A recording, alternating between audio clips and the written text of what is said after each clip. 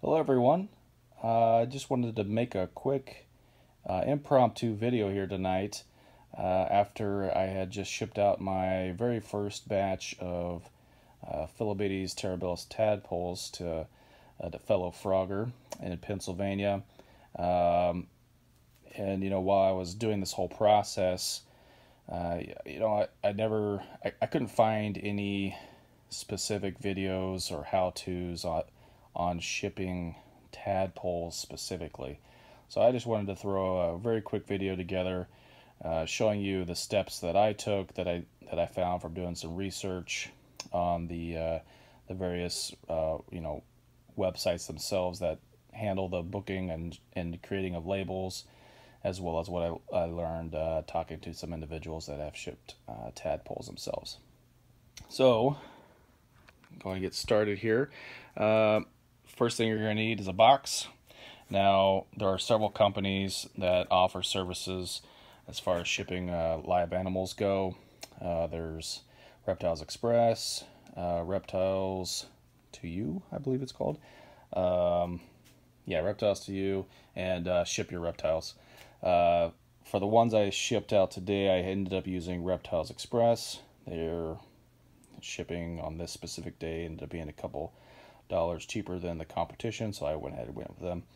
Um, but regardless of who you use, they require you to use uh, specific items when you ship in order to um, be compliant with their insurance.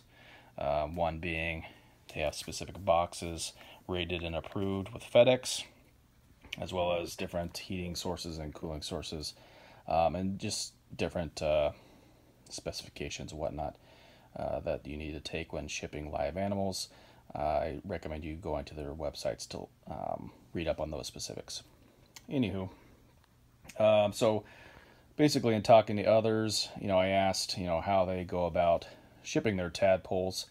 Uh, the two main answers I saw were they would use basically fish bags from the fish industry or uh, water bottles to transport uh, as the main vessel, I guess you could say, for holding the tadpoles while they're in the boxes during transit. So um, you can either buy these fish bags online, found a plethora of them on Amazon, or you can stop by your local uh, pet store. It happens to sell fish, fish store, aquarium, whatnot, and that's what I ended up doing. Uh, asked if they had any for sale. Uh, the guy there was a, a really nice guy. And just asked me, you know, how many I needed and he went ahead and just gave me four for free. So um, chances are that's what they'll likely do. But you know, if you find yourself selling a lot of tadpoles and shipping a lot of tadpoles, I suggest going out and buying yourself. Otherwise, your uh, local fish store might get uh, tired of you showing up and asking for free bags. Um, so, on top of the bags, basically what I did was filled this about a third of the way up with uh, the water that the tadpoles have been uh, being raised in, and basically cinched it up top, twisted it, and threw a rubber band on it, made sure it was nice and tight. Um, the reason why you don't want to go fill up too much water is you want to make sure there's still air for the tadpoles to have access to. Um, that and you want to go ahead and double bag these things. So once uh, the tadpoles were in the in the bag, transferred over to the bag, rubber band on nice and tight. I went ahead and slipped a another bag on top of it, put a rubber band on that as well, and then I also taped uh, those the remaining, you know, flat part down. Um, basically, the second bag act, acting as a backup in case the first one springs a leak. Um, after that, I went ahead and placed some newspaper down in here. Um, you can buy uh, box liners as well. I didn't opt to do that this time, but basically that those those would protect the box should there be a leak um, from basically um, melting on you and getting soggy and destroyed. So my theory is, you know, if it gets to that point, um, you're probably hosed regardless. So anyway, um, next, since So I'm in Omaha and I'm shipping out tonight, uh, tomorrow, tonight and tomorrow, lows of mid 30s, uh, highs st- still below 60. Same with the destination I'm shipping to, um, shipping to Pennsylvania. So uh, rainstorms along the way. So it's going to be plenty chilly. So I went with the heat pack. And what you're going to want to do with those is you're going to make sure you have the 40 hour plus heat packs. If you use your regular old hand warmers and your animals arrive dead on arrival, you will not get paid out. So use what they require. Uh, so what, what you would do, I punched a hole through the middle here, and when you open this up, there's a red line down the middle, and that can't be covered up. It needs to be um, unobstructed so oxygen, oxygen can get to it and um, make sure that heat gets um, conducted and output. So you put tape on the outsides there. Make sure the red side, red line again is facing out because when you place this down, red line is going to be facing the animals.